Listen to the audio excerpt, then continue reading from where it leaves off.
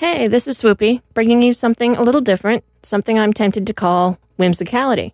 Over at Skepticality, Derek and I are all about critical thinking, reason, science, logic, and especially setting the record straight on absurdities old and new.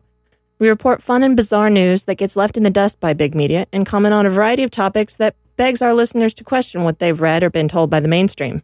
I love that. It's important. Now, there are organizations out there that spend a good deal of time unraveling ancient myths with glee, taking the light fantastic and beating it down with a big stick. They're in the business of making people who believe in some of my favorite topics feel like dorks. I actually think you can use the scientific method and tell two year olds that Santa is going to bring them presents on Christmas. Without the lighter side of life, what's left? The hard light of day is important. I'm not saying that we should let fluff run rampant and kick science out the window. I think there are benefits to both, and that's what whimsicality is all about. So, a couple of times a week, I'm going to take about 20 minutes to talk about fun stuff in the realm of fantasy, the bizarre, perhaps the morbid and creepy too. Does this mean I believe that aligning my chakras is better for my body than doing a little cardio? No way. I've never had a chakra help me fit into my jeans, but that doesn't mean I'm above seeing what it's all about. So, if you want to loosen your brain a little, let the crazy in there, stay tuned for Whimsicality, where nonsensical crap is fun.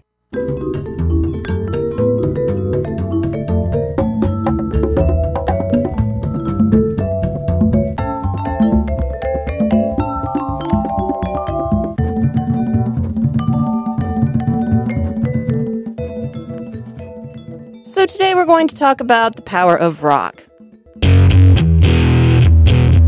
Rocks have held power in ancient religions and cultures since forever.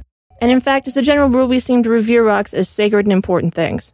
Mountain is to be climbed and conquered, stones are erected as monuments, even gravestones mark where we end up. Before paper, history was put on stone. Cave paintings, stone tablets, revered artifacts often made of rock, and these are everywhere. Some created by man, some created by nature. Some I've heard people think were created by beings greater than ourselves. That's a skepticality topic, and I'm staying away from it. The pyramids, the Roman Colosseum, the megalithic heads of Easter Island, the Washington Monument, even. We like rocks, and we've got plenty of them. We live in them, we climb them, we burn them, we rub them and kiss them, we make them our pets. And some of the ones we wear, we place an obscene amount of value on. Do they hold any special power that can change the way we think or improve our health?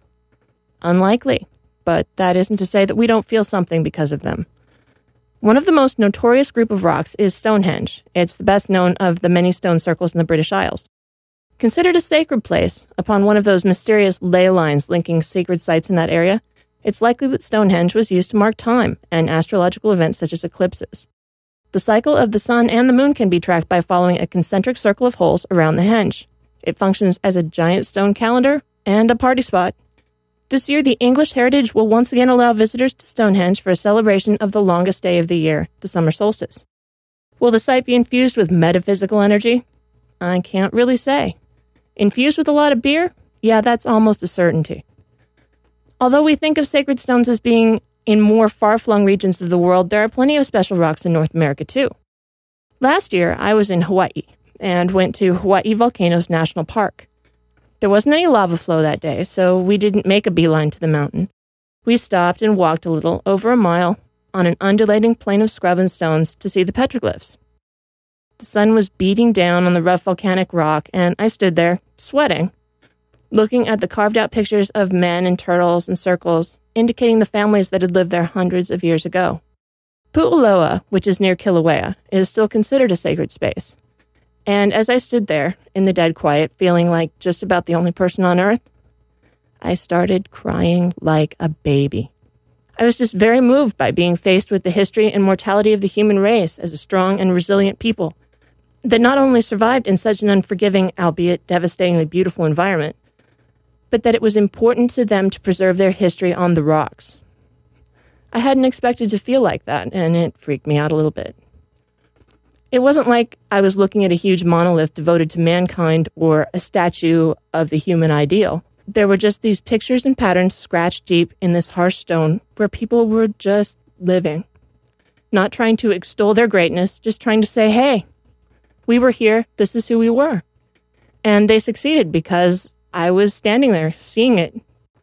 Some would posit that I cried because I was overwhelmed by the metaphysical and spiritual energy that this sacred space possesses. Yes, my spirit was moved, but because of the power of humanity, not because of the divine energy imbued in the stones.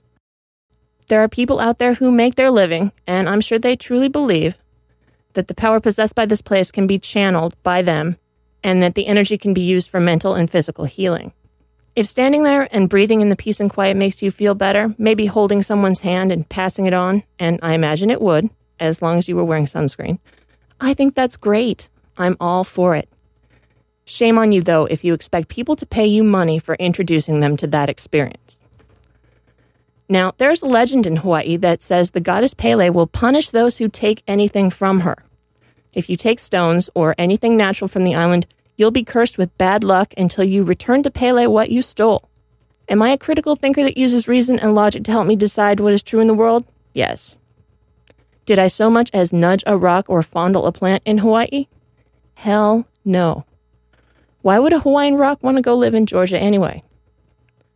So, do rocks have power? I think they do. They have the power to inspire us, to humble us, and even crush us. Can they make you stronger? Only if you're lifting really heavy ones on a regular basis. Will they cure cancer and improve your digestion? Not as far as we know, and I definitely wouldn't suggest eating them. I guess the one thing we do know for sure is that the most important rock is the one we live on. This is Swoopy. And for now, rock on.